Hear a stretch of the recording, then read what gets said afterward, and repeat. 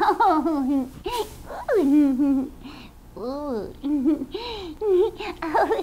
God, I'm so excited I found you, my own makeup artist, because I made it big in Hollywood.